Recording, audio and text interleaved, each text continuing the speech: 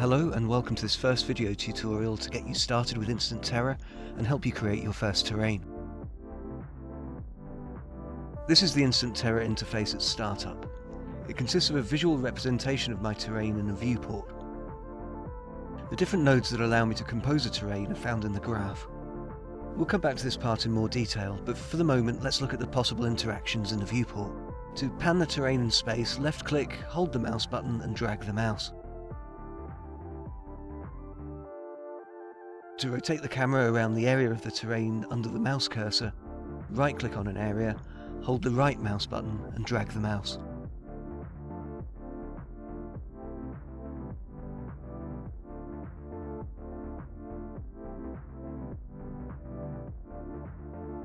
Scrolling the mouse wheel allows me to zoom in and out in successive stages.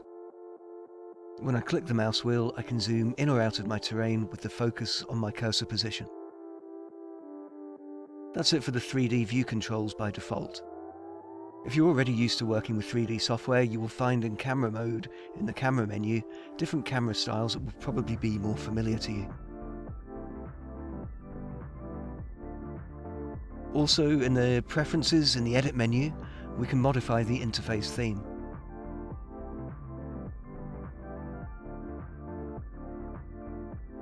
Let's see now the possible interactions in the graph.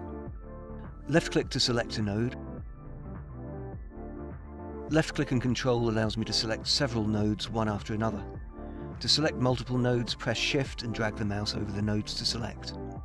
When I right click in the graph, I access the create node menu, which contains all the nodes that can be added to compose my terrain.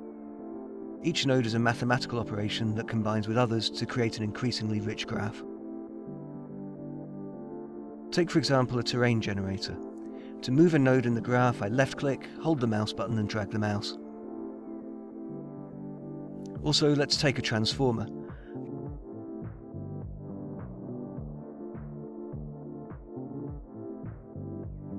By left-clicking on the node's output module, I create a link that lets me connect it to another node. Once this new node is linked, its results are added to the previous nodes that make up my terrain.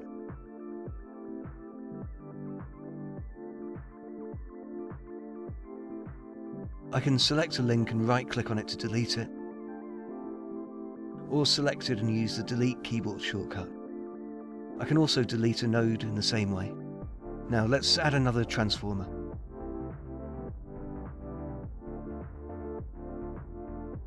When I double click on a node, I open a new window containing its parameters. I can modify the parameters as I like and see the result directly in real time in the viewport.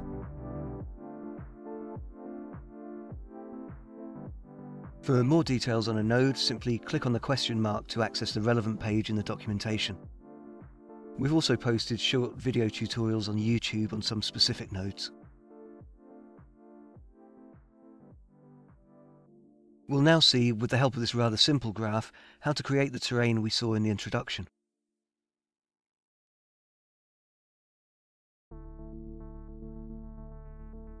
It consists of a Perlin noise node, a slope node, a painted mask node, a sum using mask node, and a hydraulic erosion node. We'll create a new project, so I start by pressing Shift and left click to delete the default nodes. Then I right click and select Create Node, then Terrain Generation, and add the Perlin Noise and Slope nodes. In the slope node parameters I change the height and set inclination angle to create a constant height of 400 meters.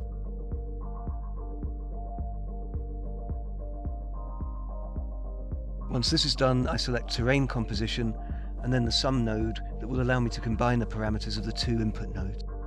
Notice that my new terrain has both the 400 meter height of the slope node and all the parameters inherited from my Perlin noise node. What would be interesting now would be to drive this composition using a mask. To do so, right click on the sum node, select switch to any node, and select the sum using mask node. This composition node now requires a mask to work, so I right click and select create node, then mask generation, and add the painted mask node.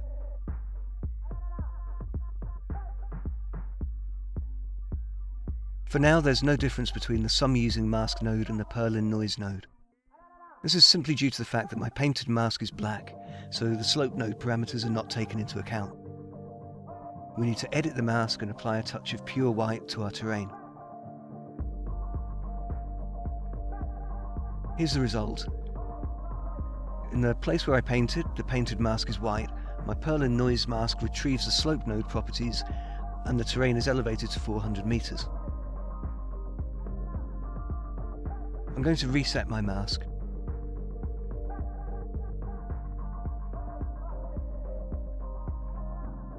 What's interesting now, rather than painting with pure white, is to set the brush intensity to 0.15 and the fall off to 0.5 to get a much more nuanced composition on my terrain.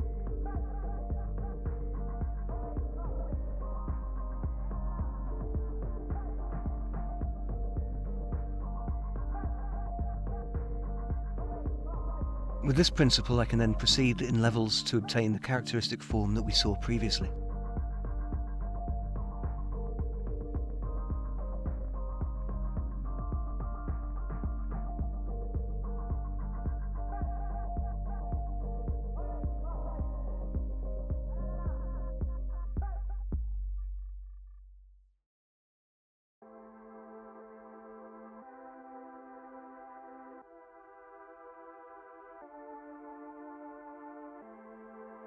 Once this is done, I right click again and select Create Node, then Simulation, and add the Hydraulic Erosion node to create more realism on my terrain.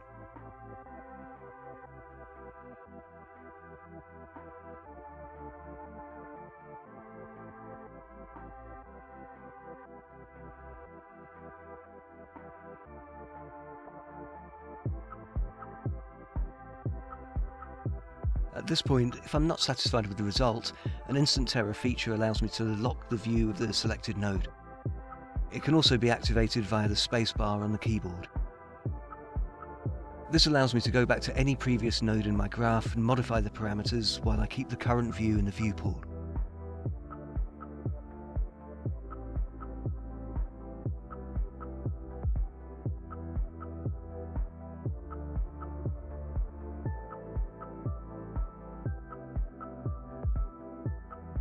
Once I'm satisfied with my terrain, I can export it to a 3D software package. To do this I have a choice of export nodes.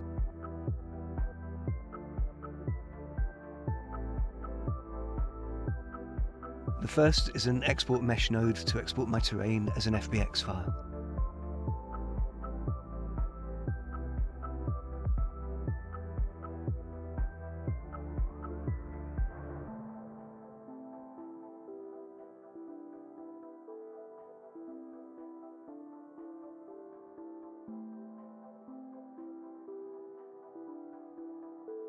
And the second is an export terrain node to export my terrain as a height map. In this node, I can preview the result in the viewport using the icon in the toolbar or the M keyboard shortcut. All I need to do now is choose the appropriate export format.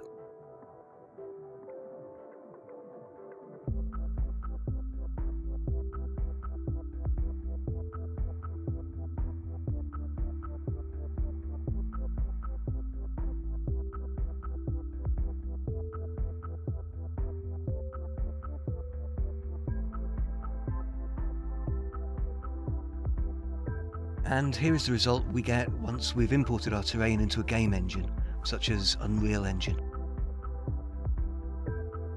Thank you for watching this video and see you soon for the next tutorial.